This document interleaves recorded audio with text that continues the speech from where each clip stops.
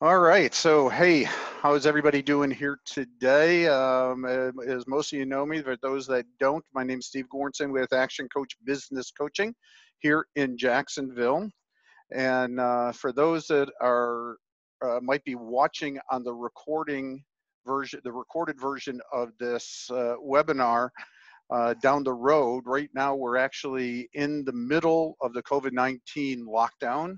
Um, so that might put some perspective on some of the, the my conversation or my comments. And you know, right now we're all feeling the, uh, we're really reeling over the effects of the uh, the COVID-19 uh, crisis on our on our business. And you know, as business owners, we all feel, and employees, we feel stressed out um, of in various different ways.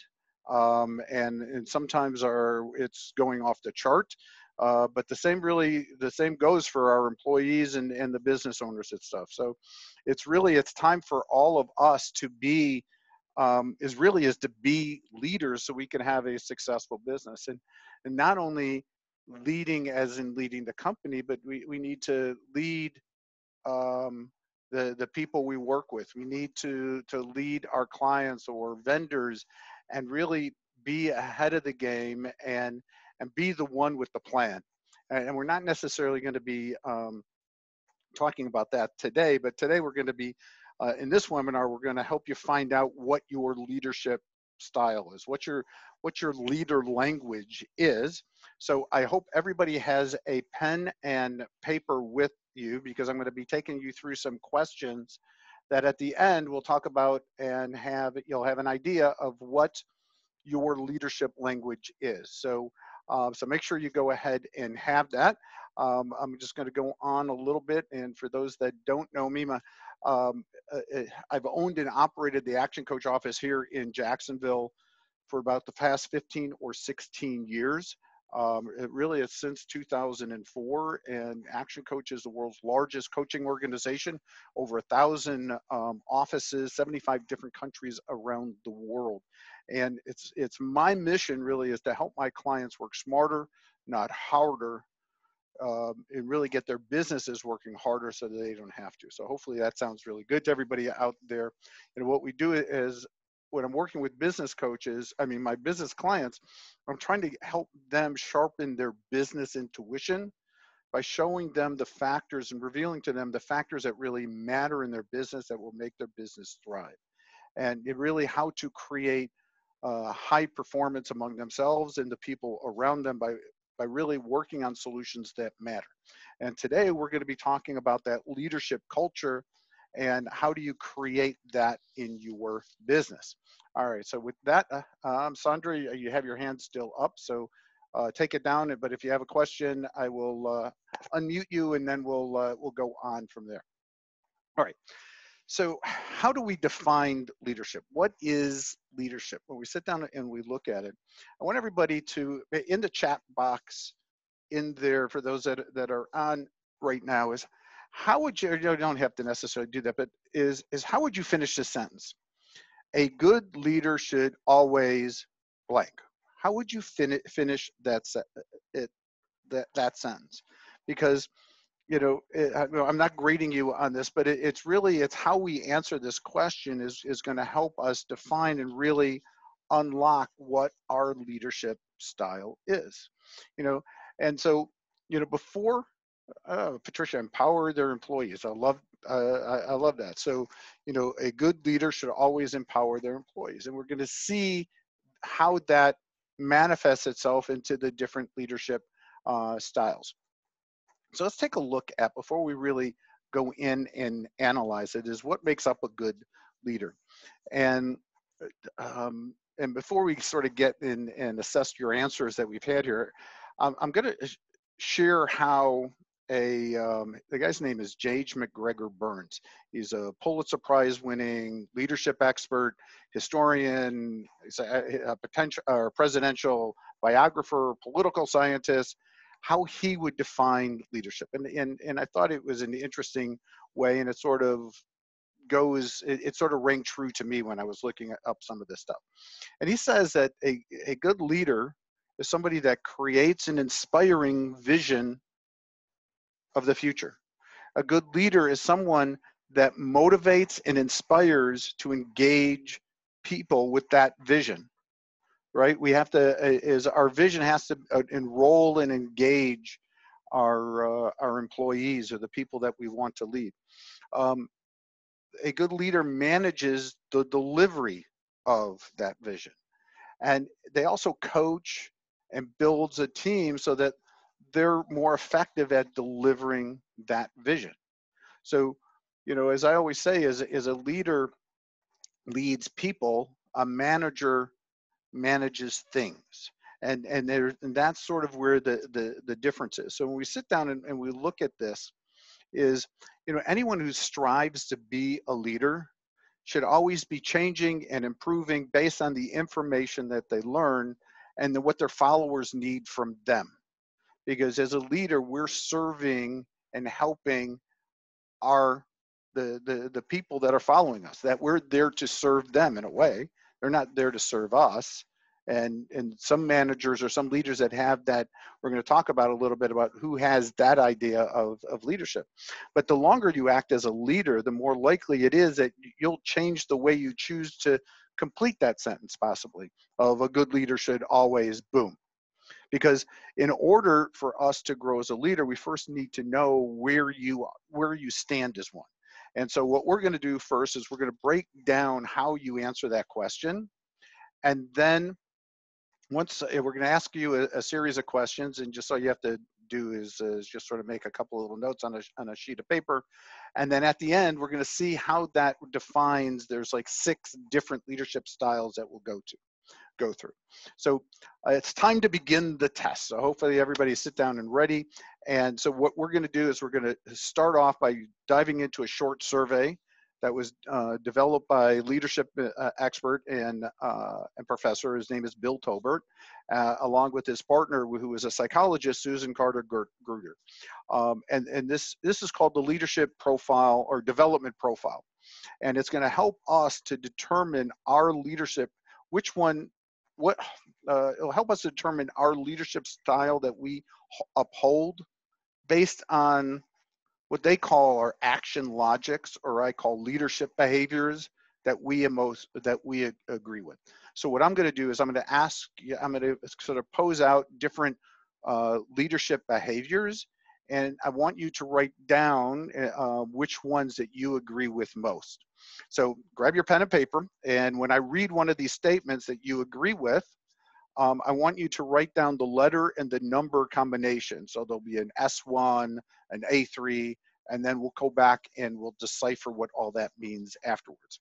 Uh, because at the end, we'll determine what your leadership, the, what your answers say about you as a leader as well. And keep uh, in mind the categories that we're going to come up with first, uh, and that the statements the way they're organized don't necessarily relate to the outcome and you'll see that as we move forward. So is everybody ready to get started? Here we go. All right. So our the, the first one that we're going to talk about is uh, of leadership is an individualist. So an individualist leader is self-aware. They're creative and primarily focused but on their own actions as opposed to the overall organizational performance. They are exceptionally driven by the desire to exceed personal goals and constantly improve upon their skills. So here are some statements that an individualist leader might agree with. All right, so which the ones that you agree with, um, I'm gonna, these are gonna be either A1, A2, or A3, and I want you to just write down which ones that you are. So the first one is, uh, is actually I1. So I1 is a good leader should always trust their own intuition over the established organizational processes. Excuse me. right, so that was I1. A good leader um, will always trust their own intuition over established organizational processes. I too, it's important to be able to relate to others so I can easily communicate complex ideas to them. So again, this is I2. It's important to be able to relate to others so I can easily communicate complex ideas to them. And then the third one comes out to is I3. And I'm more comfortable with progress than sustained success. So again, I'm more comfortable, excuse me, with progress than sustained success. All right, so everybody, hopefully you got one, two, or eh, or possibly none of that. That is fine. That will that'll take us through and help you. All right, so that's the the, the first area that we're going to look at. So now we're going to look at the strategist. Here, the strategists are extremely aware of their environments in which they operate. Um, they make it a point to gather deep understandings of, of structures, processes that make their businesses tick, but also they're able to keep perspective, apply critical thinking, and evaluate what needs to or what can be approved. All right, so that's a sort of a summary there. So let's take a look at these three um, different statements or, or leadership behaviors. And again, they don't necessarily have to attune to the strategist, but which ones tend to um, uh, uh, just ring true to you. So the first one is S1 is a good leader should always be able to build a consensus in a divided groups. Again, S1 is a good leader should always be able to build consensus within divided groups. All right, now we're going to go to uh, S2. S2, it's important to help develop an organization as a whole in addition to the growth of individuals.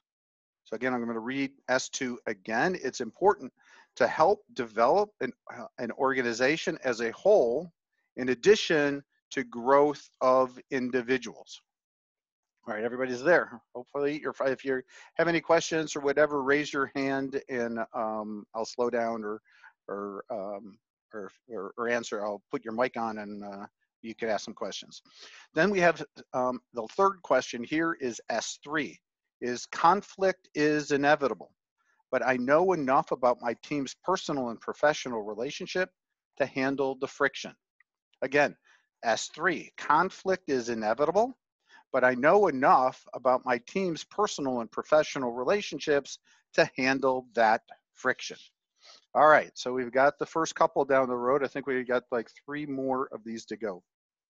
So the the the next one, going backwards, is the alchemist.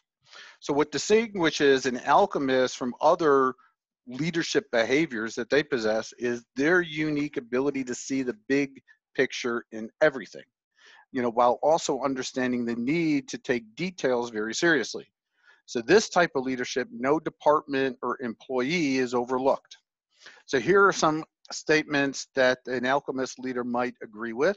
Which ones do you do? So first, A1, a good leader helps their employees reach their highest potential and possesses the necessary empathy and moral awareness to get there. I'm going to read that again.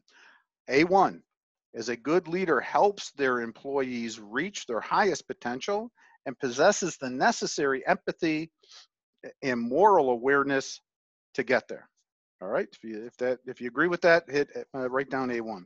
A2, it's important to make a profound and positive impact on whatever I am working on. It is important to make a profound and positive impact on whatever I am working on. And finally, the last one here, A3, is I have a unique ability to balance short-term needs and long-term goals. I will repeat that. A3, I have a unique ability to balance short-term needs and long-term goals. All right, I believe we only have about three more of these to go. All right, and then we'll we'll delve into what all this means. So the next one that we have is our opportunist. The opportunists are guided by a certain innate level of mistrust in others and rely on a, on a, on a facade of control to keep their employees in line. So these type of leaders usually believe in the adage, an eye for an eye is maybe the best way to sort of say it. So here's maybe some things that an opportunist uh, might say. A good leader should always view others as a potential competition to be bested, even if it's at the expense of their personal development. Again, uh, 01. A good leader should always view others as a potential competition to be bested, even if it's at the expense of their own personal development. All right, now we're going to go to O2. I reserve the right to reject the input of those questions or criticize my ideas. So again, O2, I reserve the right to reject the input of those who question or criticize my ideas. All right, so let's move on. Next one is the diplomat. So here we're looking at the diplomats. A diplomat is not necessarily concerned with assuming control. Instead, they seek to cause minimal impact by conforming to existing norms and, and completing their task within with as little frish, uh, friction as possible. They don't like the rock in the boat, I guess. So here might some things that a diplomat might say. Which one of these hold true to you?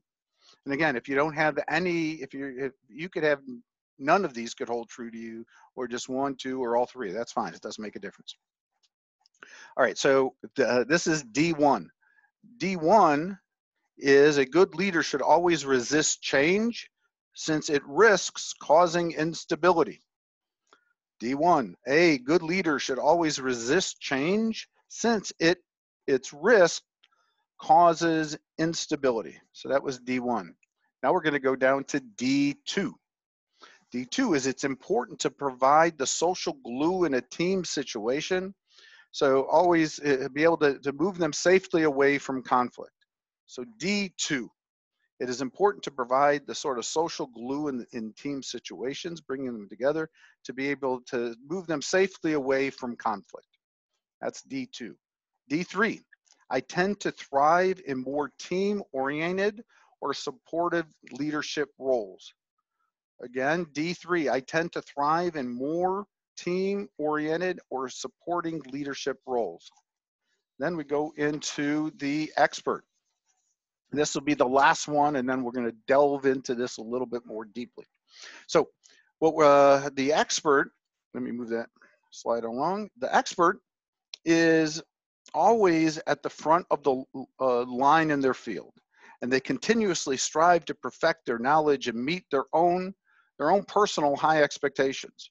The expert is fantastic as a contributor and a source of knowledge, but can't usually um, but uh, but can usually stand to improve in areas where uh, in the field of emotional intelligence. So they have the content, but they always can't put it into the right context. They sort of know what should be said, but they don't say it in the right way at that right moment. Maybe that's a good way of putting it. So here's a uh, a couple of statements from the from the expert, and let me know which one of these hold true to you. So E1, E1 is a good leader should prioritize their own pursuit of knowledge over the needs of the organization and their direct reports. Again, E1, a good leader should prioritize their own pursuits of knowledge over the needs of the organization and their direct reports. And then next, E2 is when problems when problem solving with others in the company my opinion tends to be the correct one. I like that one. No, is uh, E2 is when problem solving with others in the company, my opinion tends to lead to uh, to be the correct one. Isn't that an interesting statement? So, which one of these? Okay, so I, uh, hopefully you have them all down. And what we're going to do is we're now going to take a look at what leaders are you. So take a look at your notes. And then as I go through these, we're going to break, uh, it, we'll be breaking it down into um, uh, really six, seven different leadership categories. And um, what you'll find is as you circle them, you'll find out which ones you tend to be the uh, which will be connect you to what your leadership style is. So the more statements that you agree with, the more likely you practice a sort of a mix leadership style. Um, and then sort of this is sort of how we break it down. If we uh, take a look at this, um, if we have a, a democrat, if you're more of a democratic, you're going to agree with S3. The autocratic leader tends to be O1, O2, E1, E2. Laissez-faire, D2, D3, and so on and so forth. So if you agree with everything the strategist said, um, like S1, S2, and S3, this would make you sort of a 66% uh, strategic leader because the strategic leader is that's two out of the three categories there, but then also 33% of a democratic leader, if that makes sense, right? So I, when I went through and, and sort of, I tended to be mostly within a, a strategic and a transformational leader. And we didn't talk about transformation. We're going to go through each one of these and take a look at what their strengths are. So um, just sort of a, a, raise of hands. Have you guys figured out which um, which one of these actually? Just raise your hand if if you've sort of figured out what your basic leadership styles are. Yes or no? Just raise your hand. You can just raise your hands. Yes, no? All right. So we all with me here? All right, very good. I appreciate that. Okay, interesting. All right, so let's take a look at the first one. The first one is our dem democratic leadership. You know, so so for those that fall into the category of democratic leadership, you're going to be happy to hear that this style is really is commonly very effective. So these types of leaders make decisions based on the input of each team member. And you know, although the leader makes the final call, each employee has an equal say in the project's direction. So democratic leadership is also one of the most effective styles because it allows lower level employees to exercise some authority, which gives them some more skin in the game, generally makes them a little bit more loyal to the company as a whole. But, um, but there is maybe some issues that solving an issue under a democratic leadership resembles how decisions might be made in a board meeting uh, where uh, the leader gives the team a few decision related options. There's an open discussion held on each one, and then the, the leader makes a decision based on the input of everybody at hand. So that works in a in in only in certain environments. So so that's the democratic leadership so if you were a democratic leader if that's those are things that you need to sort of sit down and look at the autocratic leadership so this is very this is the very opposite of the democratic leadership autocratic leadership is rarely effective in the long term but sometimes it's necessary so in this leadership style employees are neither considered or consulted prior to a direction and are expected to, to adhere to a decision at a time and a place stipulated by the leader itself. So an example of um, might be just like uh, if a manager changes uh, the, the work hours or work shifts or for multiple employees but not telling anybody. So you know so they just boom they just made the decision so in today's workplace culture this type of leadership can't be sustained over a long period of time because you're going to start losing employees. You know, if you fell under this leadership category, you need to uh, start working on possibly being a little bit more open to the intellect and the perspectives of the rest of the team. But now, on the other hand, and, and basically you have to think about it, you don't have to go it alone. But on the other hand, when we sit down and looking at it, when, when we were in this crisis mode, sometimes people, this is where your autocratic leadership needs to step up because people are they don't know what to do and boom they're looking to follow a leader and say hey this is what you, we need to do right now. And once once we get people working and get that flow going is eh, what we, we needed in this crisis well okay now now we can go back and we've we've minimized people's uh, fear and their anxiety. We got them working. We got them working towards something, and now we have to start to begin to work them towards something instead of just doing something. So the, the next type of leadership is called the laissez-faire leadership.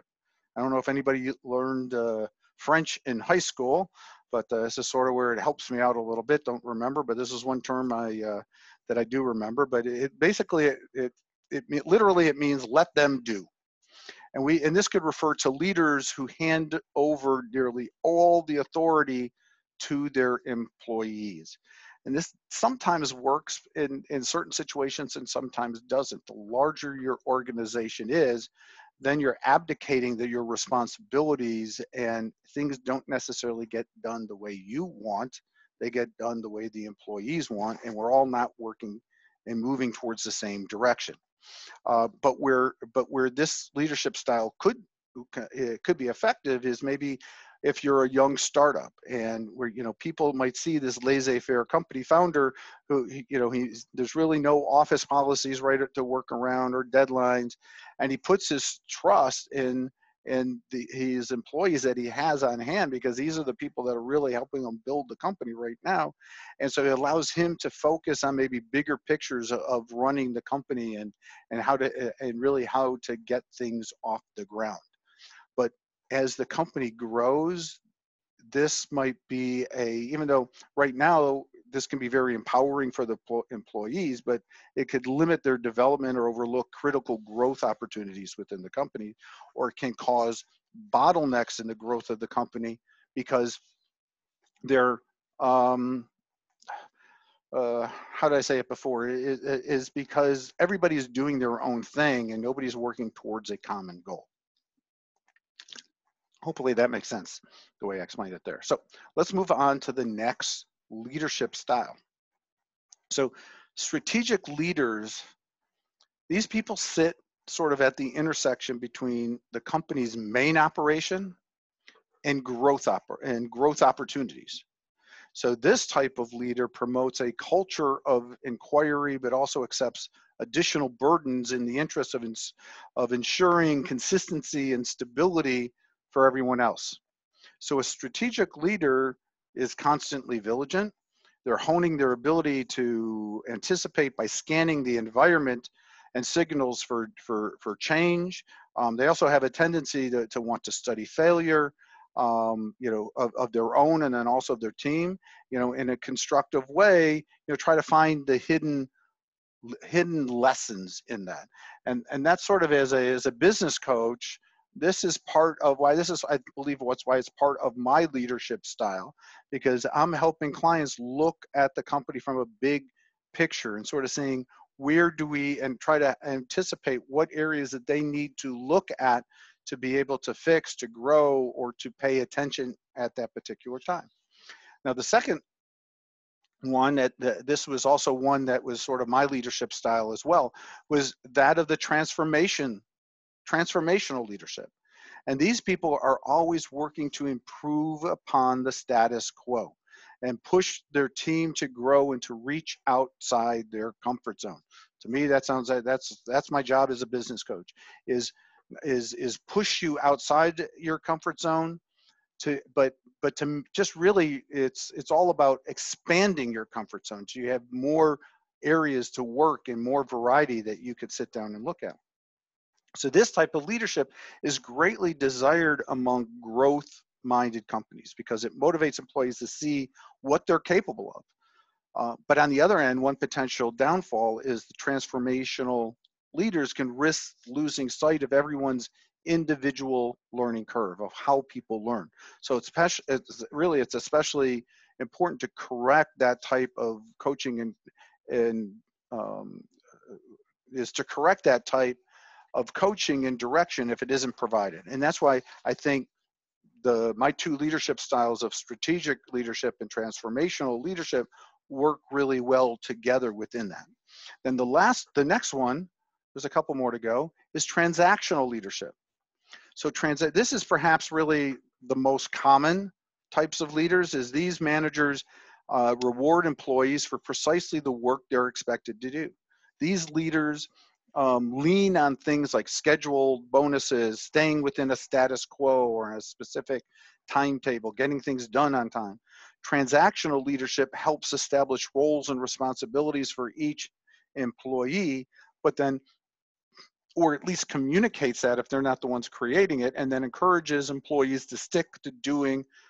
Um, or I guess one of the, the, the weaknesses is it when when we just sort of have these specific roles it, it also encourages employees to just stick within just doing the bare minimum. Sometimes that's work, sometimes that is good, you know, on when you have a crew that's going out and and and working on a, a landscape project you you want the the foreman to be a transactional leadership is getting everybody to do what they need to do on that but then there's times at you know where the the person that's over operations they can be more the transformational leadership or the strategic leadership on how they do it. And and then at that point get the input from the guys on the crew. So it doesn't so in the in our team we need to have a variety of leadership styles based on the task at hand. And then the the the last one that we're going to talk about is the bureaucratic leadership. Um, so another way of, of, phrasing this is the uh, is traditional old school uh, thing that, that I think of when I'm when I'm talking about this is the uh, is the drill sergeant, right? Is these uh, leaders they go by the books. They might listen and consider input of their employees, but they tend to reject the ideas if they conflict with any company policy um, um, of, of past practices. Uh, okay, this is the way we do things. I don't care how, how you've done it over there. This is how we do things here. So, but employees under this leadership style might not uh, feel as controlled as they would under an autocratic leadership where they're just boom being told what to do. But there is still a lack of freedom in how much people are uh, able to do within their roles. So this type of leadership um, could lead to a discouragement and a lack of innovation.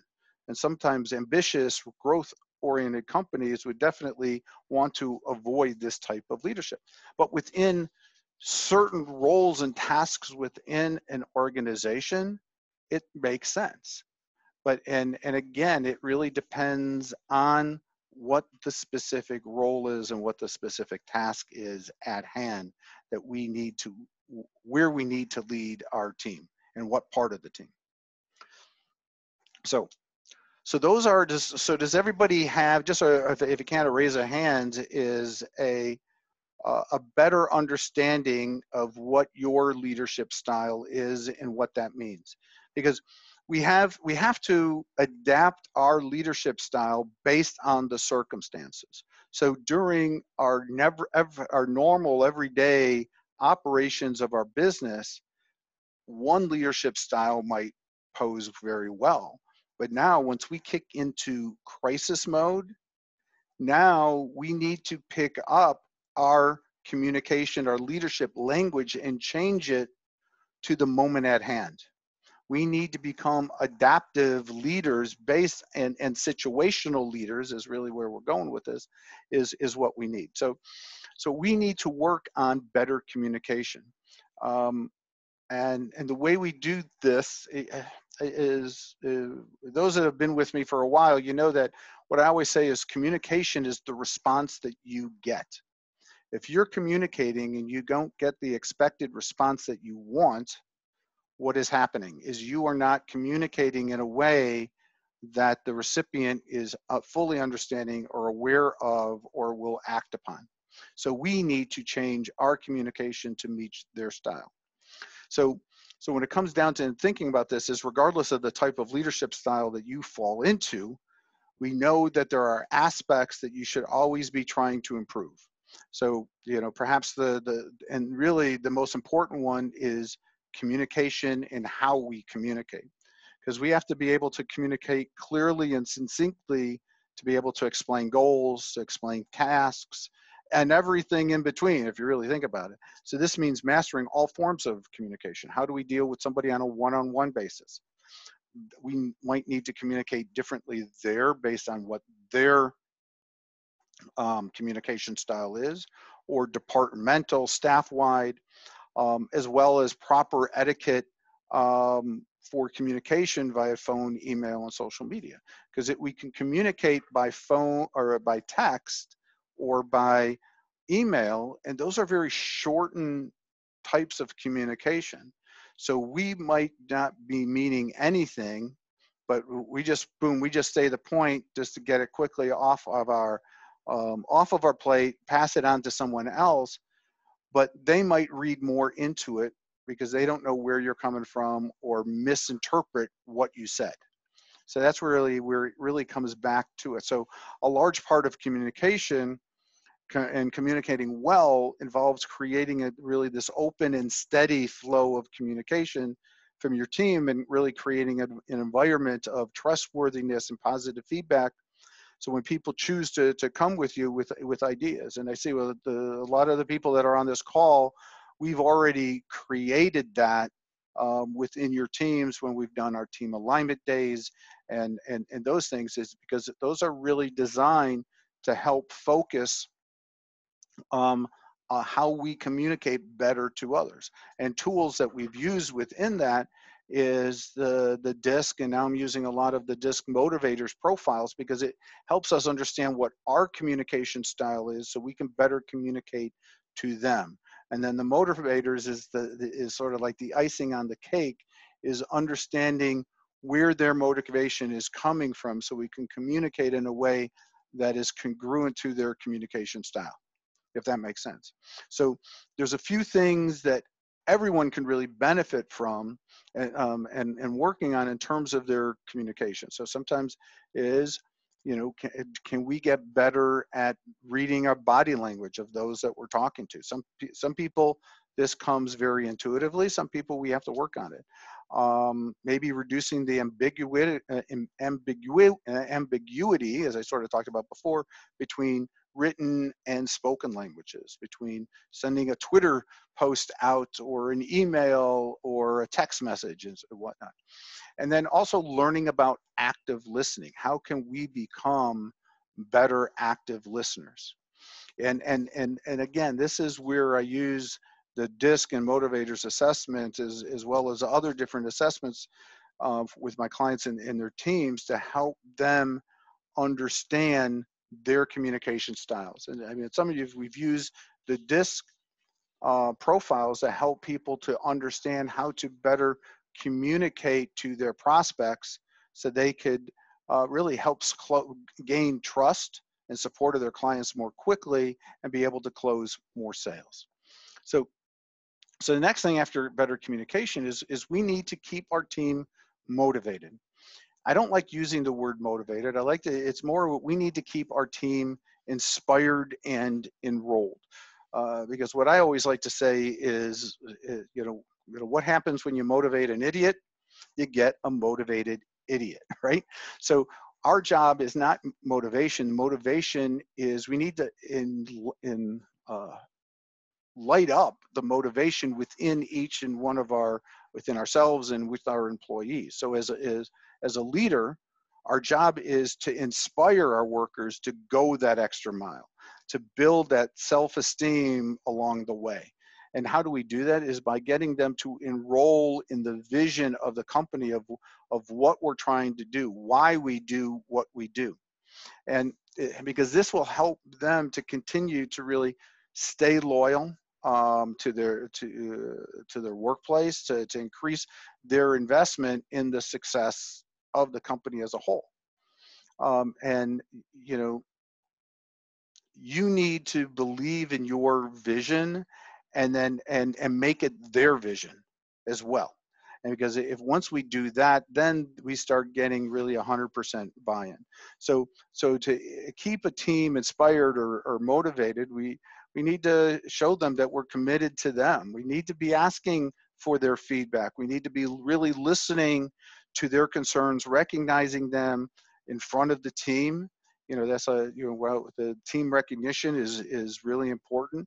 Understanding the differences between each of our team members' work styles, their personalities, um, and, and appreciate those differences.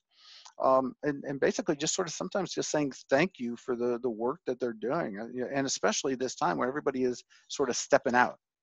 And then the, the, the last thing I really sort of want to talk about is practicing our ability to delegate. And, and we need to, and when we need to, I'm not going to spend a lot of time here, but there's a difference between delegating and abdicating. Abdicating means you're giving over responsibility, that you're not responsible for this anymore, that you don't care how that person does it until they do it wrong, and then you yell at them.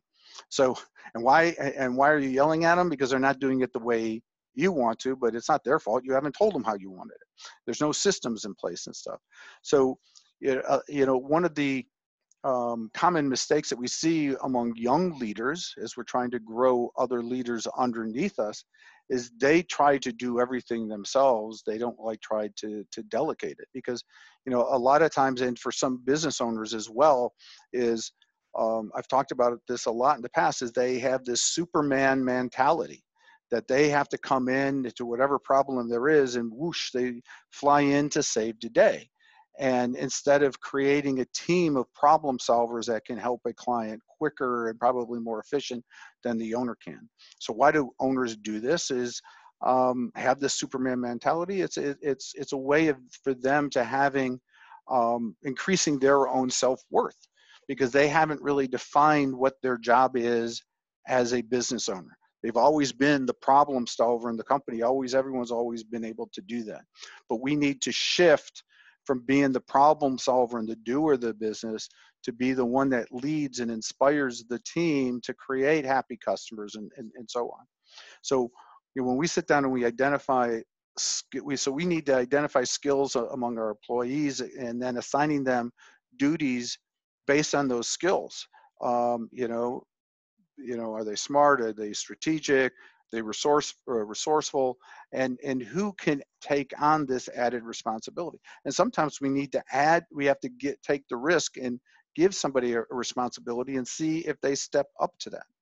You know and so sometimes we have to be creative in the way we assign responsibility and then ask for the best way for uh, uh, feedback on the best way that uh, to do a task because they might be better at doing that task than you are so they might have some better suggestions to be more efficient and more effective because you've been doing it the same way forever. And it could be because that works and you've done trial and error. They need to understand that. But so they need to understand your way of doing it. And then we can look at how do we fix this process. So and then and and this really it's really it's all about creating trust among the the employees that they're going to do the job and and when uh, and this trust is when you give over to others maybe the parts of handling a larger job um, in the business. And then this is going to then boost up their self esteem and feeling more involved and sort of uh, really being open having more open encouragement and communication along the way. So nobody really feels overwhelmed with added responsibilities and and, and whatnot. So I, I really appreciate everybody coming in. Hopefully that you guys have the everybody that's uh, been on the live webinar and then those that will be watching it later um, on the on the recorded webinar is is really is understand the difference is, uh, is the boss has the title a leader has the people. How do we get the, the and a lot of it has to do with the types of leadership language that we use but it has to be situational in itself. So again um, i appreciate everything here is a. Uh, I want to thank everybody for joining us um, and, and really take out, I know everybody's busy out of their schedule and I uh, love absolutely being able to, to give over this information. Hopefully you've gotten some valuable stuff. If you want to take what you learned off of this session of the people that have been on this live um, session um, compared to the, those that uh, are watching and recording, call my office and schedule a free strategy session to sort of see how you can do or, or coach you through what leadership situations that you need to use some of these different um, leadership languages, if you will. So uh, I appreciate it again. Hope everybody has a good day. Um, stay safe be healthy and be abundant help everybody out there. So again thank you very much. Uh, my phone number is down here for those that need it. Uh, also check out my website. And on the website too there's a lot of free uh, resources going on right now with the covid-19 to help uh, business owners as well. Yeah everybody have an awesome day. We'll talk to you soon and be well. Have a great have a great day